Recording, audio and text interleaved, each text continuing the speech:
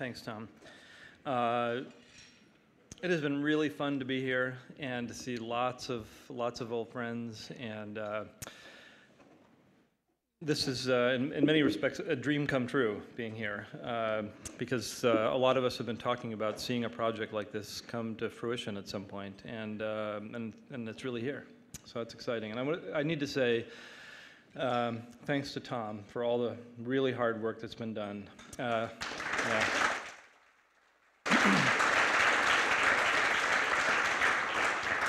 And not just what you see here in these last few days, but over the last year plus uh, in getting all this lined up, and uh, to Jeffrey as well for all of his help on logistics.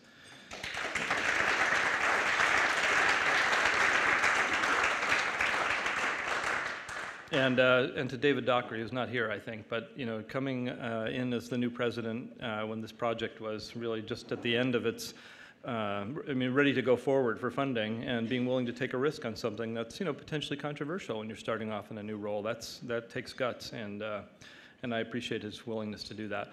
And I'll, let me just close uh, the, these uh, introductory remarks here by thanking Chris and John. So um, uh, Chris and John are my colleagues at the John Templeton Foundation, the head of the, uh, John's the head of the philosophy and theology program and uh, Chris Stewart's um, vice president of the Templeton Religion Trust. And these guys have also worked really hard in making this all happen over uh, many years leading up to this point. So I just want to say I'm grateful for the work that you guys do, and I, um, I'm really glad to work at a place where you guys can be my colleagues. So. yeah, thanks. None of that counts towards my time, by the way. Uh, all right. So in a way, the um, uh, this this talk has two parts, and the first part really is continuous with some of the comments that were made by Brad at the end of the last session, and uh, some, some comments that Lydia made. But we didn't plan it this way. It's just providence that it worked out like this. Um, so um, let me see if this thing is working. Oh, we got to do this first. There we go. All right. So the year is 1245, sometime between Easter and Midsummer, and the place is a country road somewhere between Cologne and Paris in France. And along this road are walking two Dominican friars uh, who've been dispatched on a mission to the University of Paris by the General Chapter of the Dominican Order. So at this, at this time, mid 13th century, University of Paris, it is the leading educational institution in the Christian world. It's the Harvard of the 13th century. Uh, and students from across Europe, that's the place they want to go. They flock to Paris to learn from the brightest minds of the age. But like all academic centers of excellence, it seems, bright minds wanted to push boundaries and challenge orthodoxies. And one historian describes the situation at Paris like this uh, The very importance of the university to which uh, professors and students flocked from all parts of the world became the occasion of many disorders. For where there were so many gathered together, fired with ambition and enjoying the privileges which were lavished on teachers and students, it was but natural for youth to become relaxed and for the professors to become haughty, ambitious, and anxious to acquire a great name by upsetting old theories and introducing new doctrine. So, some things never change, uh, you might say. so, at this point, Paris, still a relatively young university, had uh, actually graduated a number of high ranking members of the um, European Society, including Pope Innocent III.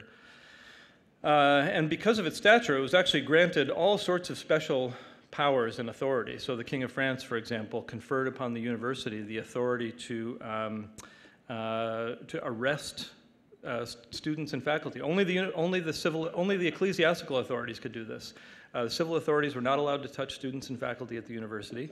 And so, actually, other important similarities to things going on uh, in our days.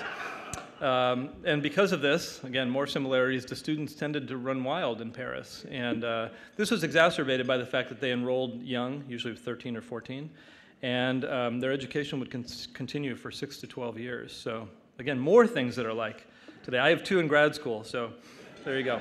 Um, but the Dominican order was keenly aware of the importance and power of the, of the university because they realized that the future church leadership would be trained there or would pass through there.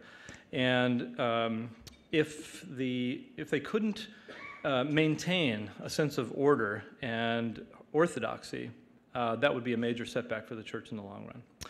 Uh, but there was trouble, and of course, the trouble was the explanation for why our two Dominican friars were on the road there. So, what was the, what was the trouble? Um, well, there are actually a lot of them, but the one I'm going to point to for the purposes of this talk um, concerns the influence of Islam. So, 300 years before this, the, uh, the Umayyad dynasty roars across the Straits of Gibraltar onto the continent of Europe, marching towards France, and um, it threatened to topple all of Christian Europe at the time. Now, things began to come unglued uh, politically, and at this point, at 1245, the threat, uh, the political threat from the, um, from the caliphate had subsided. But the declining influence of Muslim political powers corresponded with a rise in the power of Islamic ideas in this period. So, less than 50 years earlier, in 1198, you have Averroes um, completing what many regarded as the most potent um, articulation and apologetic defense of Islam in the Western world.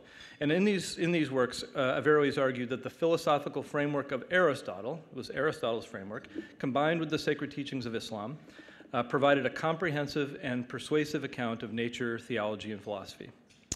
Uh, had those ideas remained within the Iberian Peninsula, no one would have been concerned. But in fact, in the 12th and 13th century, what you see is Latin translations of Averroes and of the patron philosopher of Islam, Aristotle, flooding over the border and making their way uh, into the hands of Parisian intellectual elites. Uh, and this was worrisome. Uh, first of all, they worried because perhaps it might turn out that people found the reasoning of Averroes and Aristotle persuasive and converted to Islam. Um, but even if you weren't worried about conversions to Islam, there were reasons to worry because the philosophical system on which Averroes bases his thought, work of Aristotle, seemed to entail heterodox theological conclusions. So there are many of these, but here's just an example, a sample, for those of you who know something about this, um, for Aristotle and Averroes. Uh, arguably, uh, at the time it was believed at least, um, that it precluded the possibility of individual immortality, uh, that the universe is eternal, uh, that God can't know particulars, can't know particular individuals or particular facts about individuals, which seem to threaten omniscience and providence and lots of other things. Um, so those were those were concerns. Even if people didn't become uh, Muslim, the fact is, if they were to internalize the Aristotelian system and draw these theological conclusions, that was a problem. And some Islamic thinkers worried about this as well. I mean, Ghazali, who uh, wasn't reacting to Averroes because that would get the chronology wrong, but understanding the, the implications of the Aristotelian view for theology um, raised concerns about this in his uh, book, The Incoherence of the Philosophers. Um, Averroes, not persuaded and seeking to defend himself against uh, Ghazali, writes his book, The Incoherence of the Incoherence, and so it continues with the um, philosophers fighting this out. But even with, um, you know, even Averroes recognized that there were problematic conclusions that were entailed by Aristotle's philosophy. And you might say, in the face of that, he throws up his intellectual hands and endorses something that later becomes known as the two truth theory, uh, according to which some claims are true theologically and some philosophically. So, in other words, Averroes recognized the heterodox nature of some of the conclusions, the theological conclusions that followed from Aristotle's views, but since they seem to follow from undeniable first principles, it was hard to see how you could just throw them away. So you have to keep both, even though they contradict each other. You might call this the 14th century version of Noma, right? Uh, I'll come back and say that again later. Um, so, not, not a few Muslims were unsatisfied with this solution because it seemed to imply that sound reasoning from the evidence of nature and the senses leads to one conclusion, whereas the evidence of the scriptural text lead to another. Uh, and a lot of Muslims rebelled against that notion as well. So, with Averroistic works gaining in popularity, um, the risk that Christian thinkers would endorse something like this heterodox two truth theory was, was real and troubling. And um, so they worried about this uh, conversion to Aristotelian rationalism.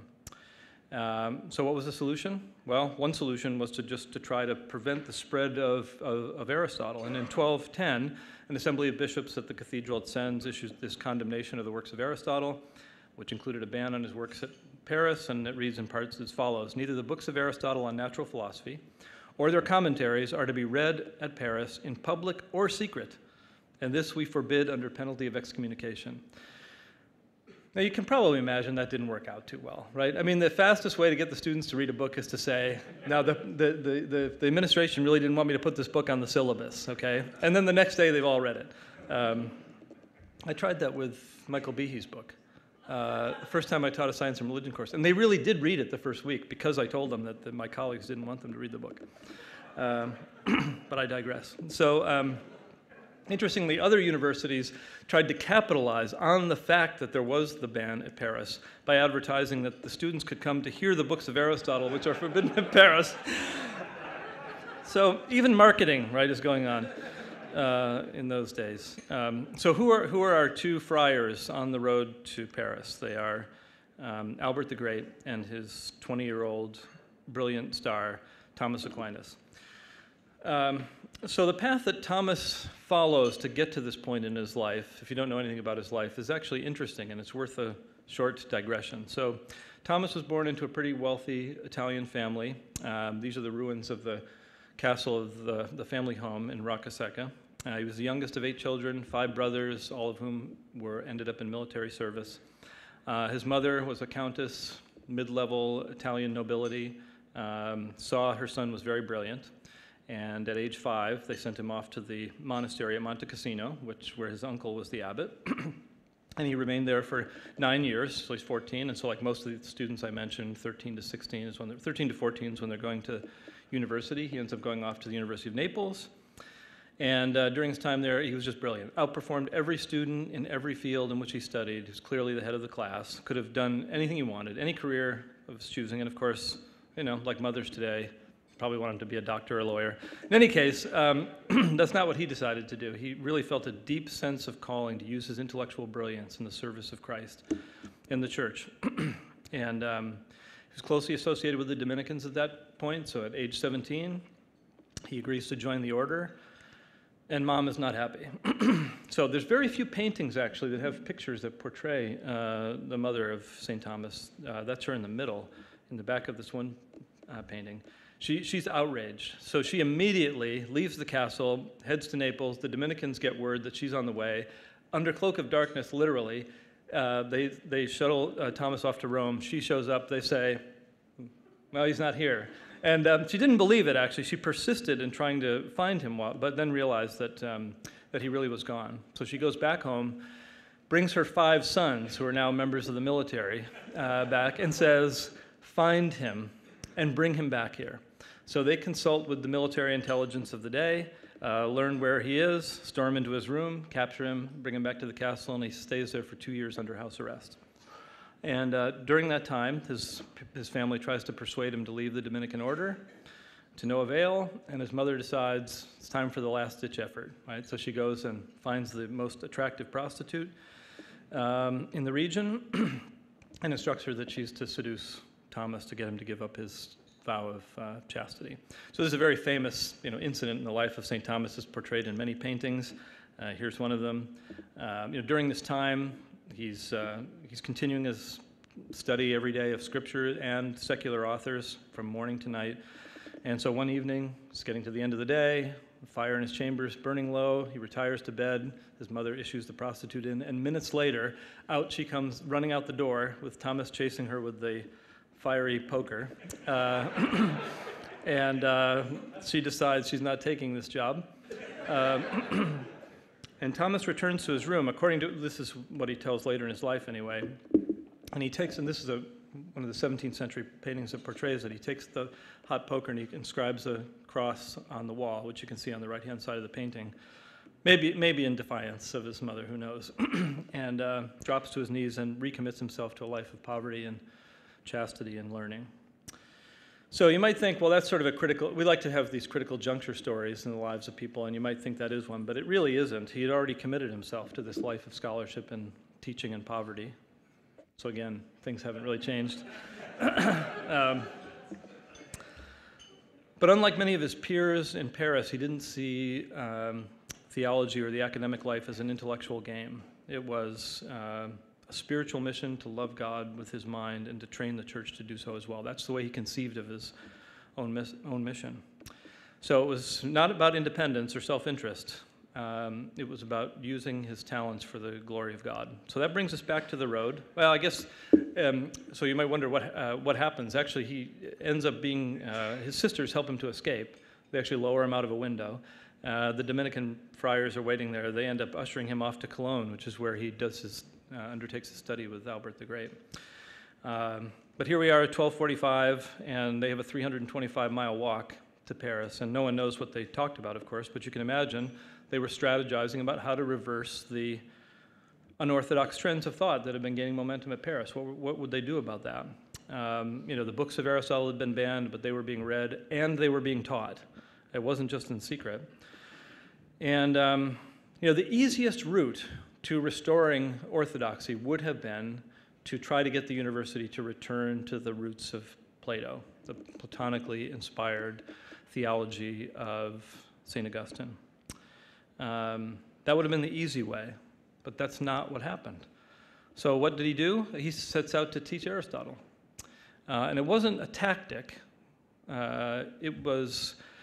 Thomas thought he could see what the Muslims and the heretics could see, namely that Aristotle provided a powerful system of thought that seemed to get many of the facts right, had impressive explanatory power, and provided scaffolding for developing deep theological insight.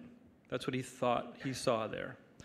Uh, but of course, he needed to show that the objections didn't hold, and that in fact these fertile theological insights really were embedded within this philosophical system. And so he writes his four volume Summa Contra Gentiles, which is really an apologetic work aimed at pushing back against the, uh, the, the, claims that have been defended by many of his uh, uh Islamic um, uh, opponents.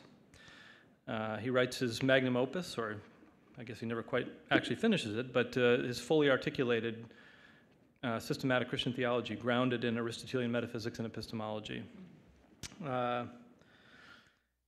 So, what's, what's the final result? I don't know if you, um, I had a picture of Averroes back there a little bit, and um, it, I it actually drew from this painting. So, there are many versions of this painting. This one's called The Triumph of St. Thomas.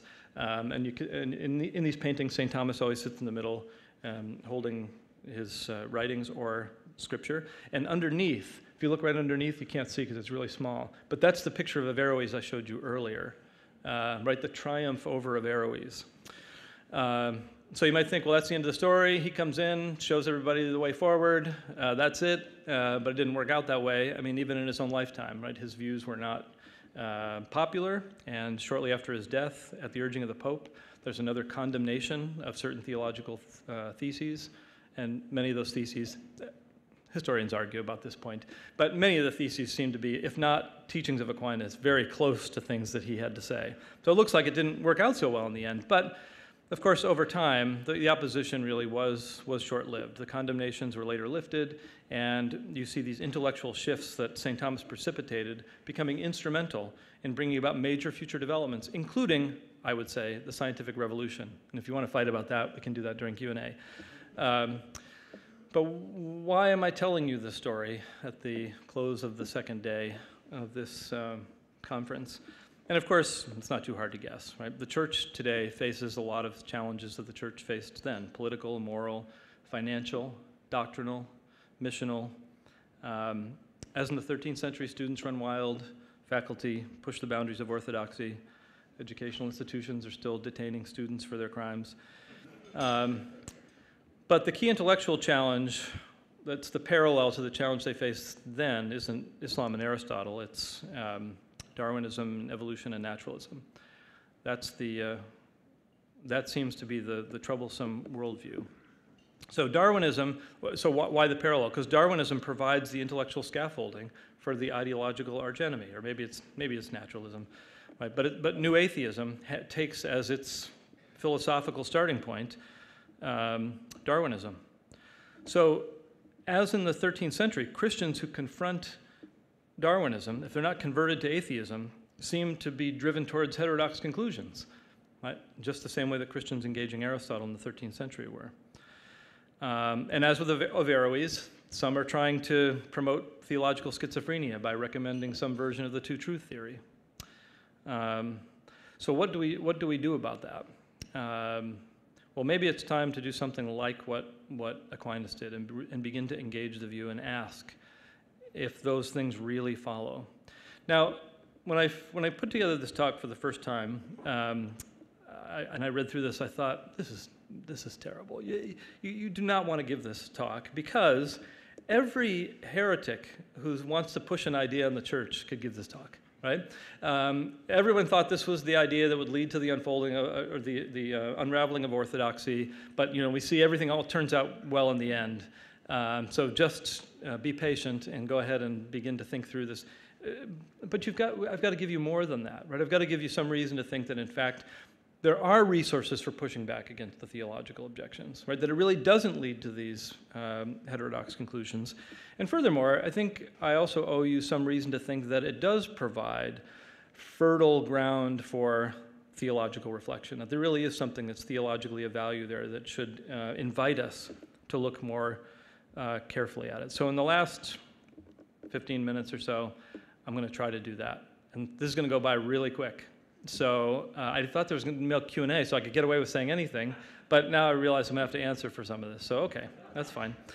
Well, I guess I'll start off by saying, as a parallel to uh, Aristotle in the 13th century, what, uh, what I think some people are seeing is an analog to what Thomas thought he saw in Aristotle, that evolution is a powerful theoretical framework that seems to get the facts right, that has impressive explanatory power, and provides scaffolding for developing deep theological insights. And unfortunately, we don't haven't, haven't spent a lot of time talking about. I mean, the church generally hasn't spent a lot of time talking about the third bullet. We're more worried about pushing back against the, the problems than we are asking, does it provide a scaffolding for something interesting?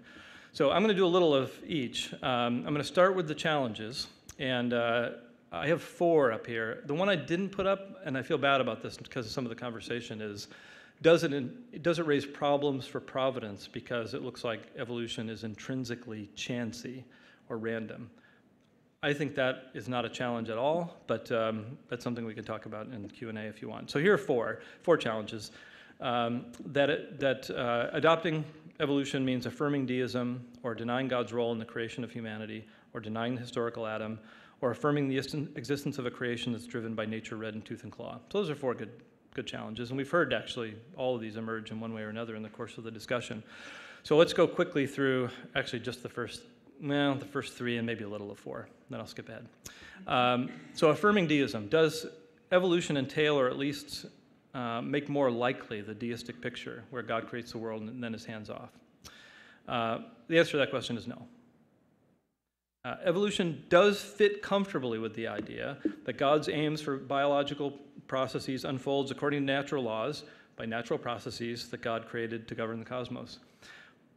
But God uses processes unfolding via natural laws in meteorology, and no one thinks the weatherman's pushing deism, right?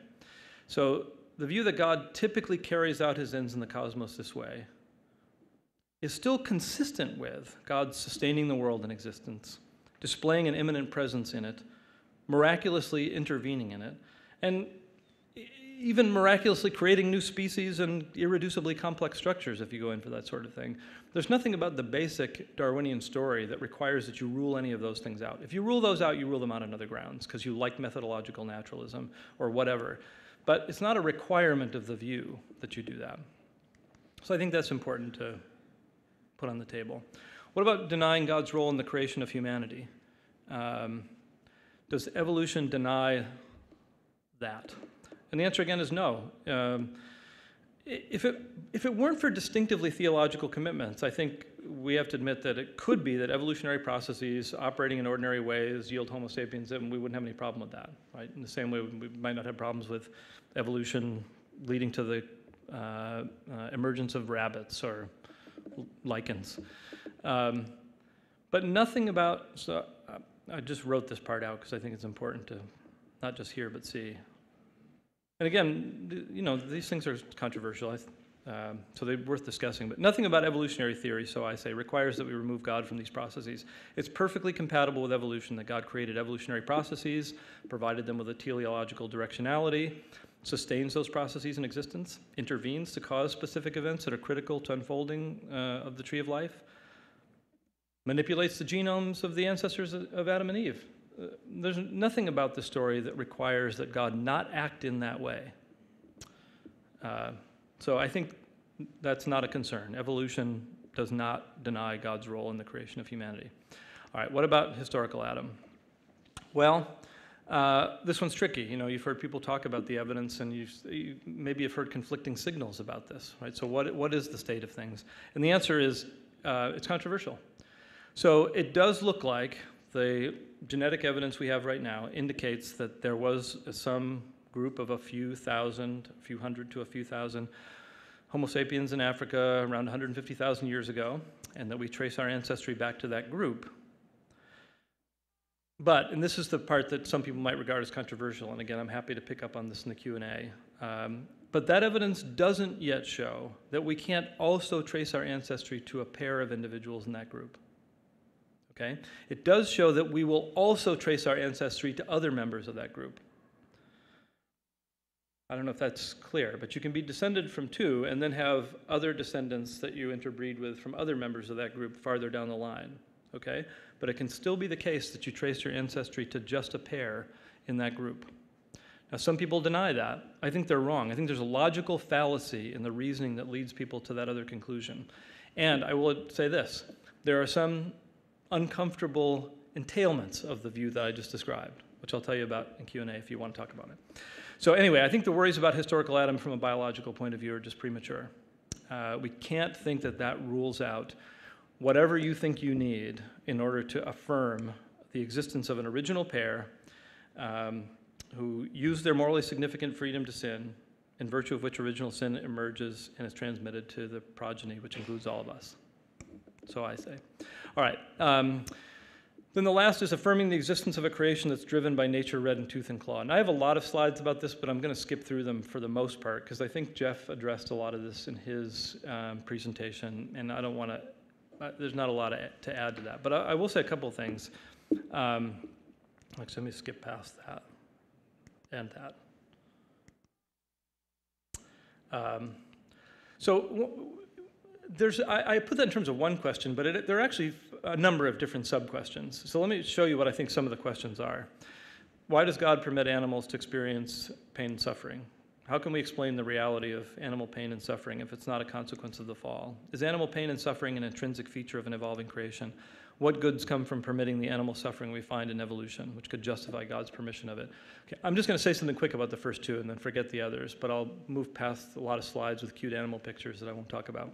So, on the first one, why does God permit animals to experience pain and suffering? Jeff said this before, but I just want to repeat it that this question isn't distinctive of the position of evolutionary creation. Whether you're a young earth creationist or an ID person or any other person, this is a problem and it needs a separate solution from the resources of theodicy, whatever that might be, but it's not distinctive of this view, so we can just pass, pass by that. Second is, how can we explain the reality of animal pain and suffering if it's not a consequence of the fall? Um, so the presumption behind the question is something like this. On the young earth creationist view, you have a sense of what causes the suffering, right? The fall of Adam.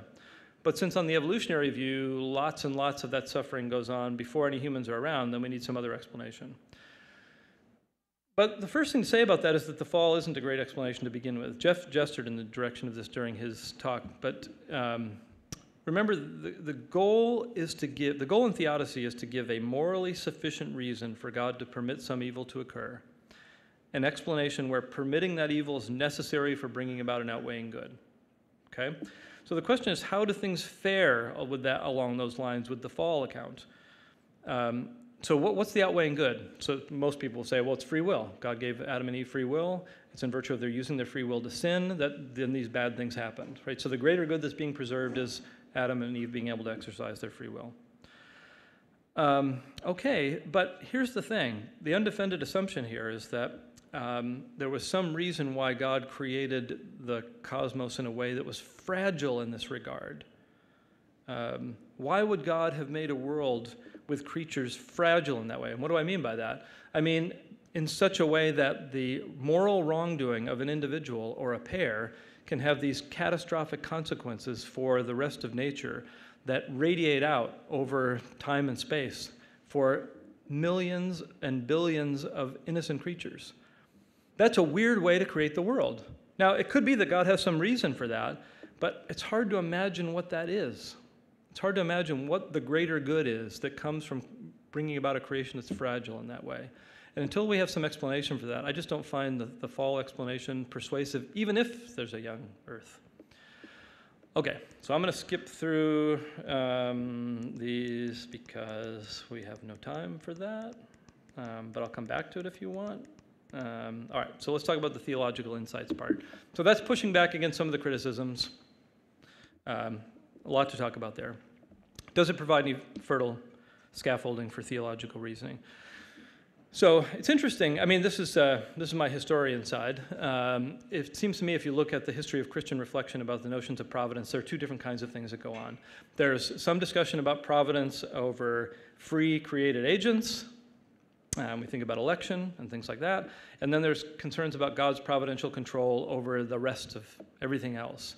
Natural providence, I call it. And what you see, so I say, is in the, in the history of Christian thought, when there are major developments that take place in the sciences, there's a spike in interest in talking about natural providence. So, three, um, three periods in particular 17th century with the mechanistic revolution, late 19th century with Darwin, and especially the early 20th century with Einstein. Uh, big spike in interest. All right, so um, during the mechanical revolution, what you see, and this is the period that's my own area of academic expertise, um, I work on Leibniz. Um, you see Christians proposing these models of natural providence where God orchestrates the conditions in creation to achieve his ends through these law governed um, displays of creaturely powers. Right? That's the way it works. So that the clockwork universe that you see, you know, Boyle, for example, talking about when he likens the creation to the clocks in Strasbourg, and where things perform their function upon particular occasions by virtue of the general and prim- primitive contrivance of the whole engine. That's the last sentence there. I won't read the whole thing because it's too long. But this idea of the clockwork universe, where God is seen as the uh, as the consummate engineer or architect. Right? That's the model that becomes predominant as people think about uh, providence. And it's not a concession. Right? It's not they're conceding to something. They think that's a, that's a, uh, um, that's a way of affirming the, the, the, greatness and the glory of God.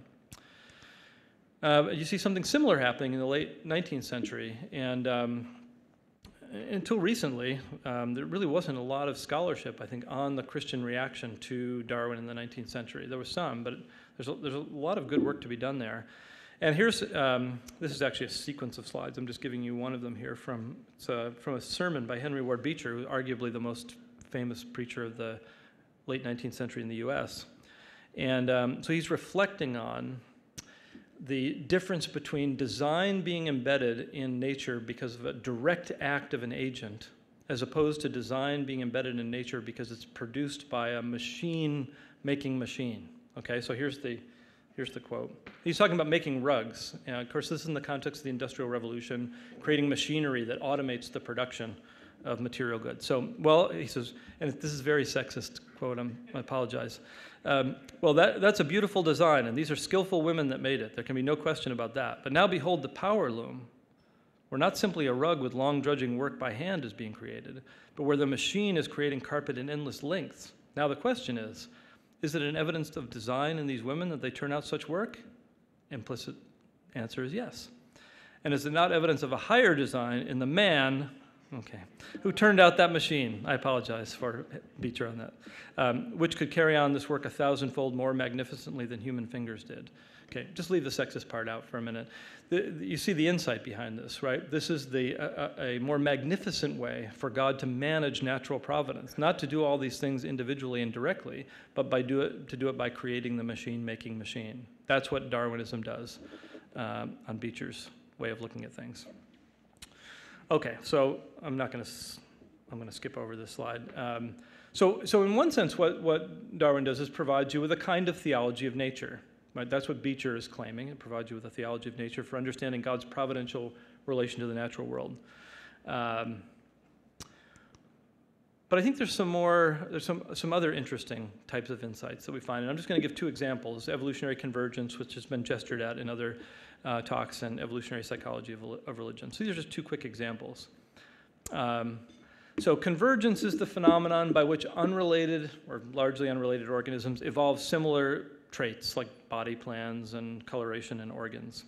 And uh, discovery of um, convergence was somewhat surprising because these um, traits are sometimes very complicated. I mean, eyes are complicated. And so Charles Hodge, you know, pushes back against Darwin because he can't imagine how the eye could evolve. And what we what we now know, or believe if the evolutionary story is right, is that it has evolved a number of times. So you see it in squid, and you see it in octopus, and you see it in us. Um, it looks like there are patterns in evolution that lead certain traits to continue to emerge, uh, even though they're developing in very different lines. So you see that with winged flight, with mammals and reptiles and birds. You see it in patterns of coloration in organisms that develop in very, very different parts of the world, right? So there's not common ancestry there, um, but nonetheless, they're converging on the same traits. So who cares? I mean, why is that interesting theologically? Um, for some Christians, evolutionary convergence is a lens through which we see God's teleological aims for creation. So, um, what you might think is that this is evidence that God has put guardrails in place in the natural world to point evolution in particular direction, to point it at things. So we see that it does point at some things coloration patterns, body shape, differential coloration, neutral buoyancy for these critters. Um, but that raises this question Has God configured the natural environments so that they lead down specific paths towards specific things that help to realize God's purposes? If one of God's aims for the biological world is to produce creatures that are made in the divine, divine image, are there ways that He structured things to point the process of evolution in that direction? Um, a direction that makes the emergence of intelligent, moral, religious organisms inevitable. Um, is there something like biological fine tuning in nature? And if so, does that manifest the creativity and the majesty and the glory of God in ways that we formerly didn't look for or appreciate or even imagine? Right? We couldn't imagine that. Now, I think what's interesting is those questions are worth pursuing only if you are a Christian or a theist who's engaging the biological evidence. A naturalist isn't going to think about guardrails being put in place to point the direction of evolution in particular directions. But it might also be the case that it would have been much more likely for you to think of this hypothesis if you're approaching your science and biology as a Christian. If you believe that God created the world with the goal of having organisms that manifest the divine image, that starts off in the primordial soup, you're going to start looking around for things that pointed in a particular direction. Right? So, so your theological convictions can be brought to the science in a way that produces potentially fruitful hypotheses. They won't always be right, right? But this is a case where your, your Christian theology might really have inspired you to look at certain scientific questions. Okay, um, so here's the second, another topic that I think lots of people have become interested in in the last few years evolutionary psychology of religion. So here's one of the amazing things around the world, across times and cultures, people are religious. There's like no atheist culture, at least none that have emerged until very recently. So why? Why is that? Why is religion everywhere? And um, so one, one answer might be because there's a spiritual dimension to reality and everybody experiences it. Right? It's like saying, why does everybody believe in, believe in water? Well, because everybody sees water around, and that's why. They, so maybe, maybe that's the reason. But people, religious people across different times and cultures don't often explain their views that way. They don't say, I'm just, I, I, I see, I experience directly this uh, religious dimension to reality. So it looks like we've got to ex- explain in some other way. How does this religious belief continue to emerge in a recurrent way when it seems to outstrip any data that we have for making inferences to it? Um, so this has led some people to infer or to hypothesize that, that our minds have evolved, evolved to have natural dispositions to belief in God or other types of supernatural agents. And there's some suggestive evidence that, in fact, this might be true. Um, if you look at evolutionary theories of the origin of, of, religion, there's a whole bunch of them. There's a variety of different hypotheses that are being floated, but one of them is that um, belief in invisible agents gods who care about human behavior evolved as a way of promoting cooperation, uh, especially as human group size grew. Right? It's another mechanism for sustaining cooperation and um, thwarting defection, uh, which has adaptive advantages when you're operating in the context of a group as a social organism. So, in other words, um, you'll get what's coming to you because God's in control. We've evolved to believe that there are divine beings or supernatural agents that care about our behavior in moralizing way. And in fact, there's some, mm, if you know about this research, please uh, give me a little uh, grace here, because um, this is all contentious stuff. But uh, there's some really interesting suggestive evidence that when you prime people with religious concepts, um, regardless of whether they're atheists or not, they tend to behave in more cooperative ways. So if you know there's a common type of um, experiment that's used in psychological context called the dictator game. I won't tell you all the details, but the, the basic part of the story is there's one person who's got 10 bucks and the other person has none, and they have to decide how much they're going to share. And there are all sorts of variants to this. But in one of the really interesting experiments, when they primed people with religious concepts, they had to unscramble sentences that had either religious words in them or not before they went into the experimental setting. The degree of cooperation went up significantly when they were primed, whether they were atheists or not. So that's weird. It shows something about the way we're wired that these concepts trigger certain kinds of behaviors that look like they have adaptive value. So perhaps religion is an evolved tendency of our, of our human brains. Okay, who cares? Why is that theologically interesting? Well, here's one reason. I mean, a lot of new atheists think that this sort of work debunks religious belief, right? That instead of morality being fobbed off on us uh, by our genes, religion is. But I think Christians can see that in a, in a very different way. So when we look at Romans 1, I think most, or a lot of evangelicals at least, interpret this in the following way that God's provided evidence or data in the world from which we can generate arguments and inferences to the existence of, uh, of the Creator. That's how we know about the eternal power and divine nature. It's clearly seen because there's data, and then we do natural theology on it. But this gives you a different way to actually think about that passage, because maybe it's not that there's data that leads to arguments.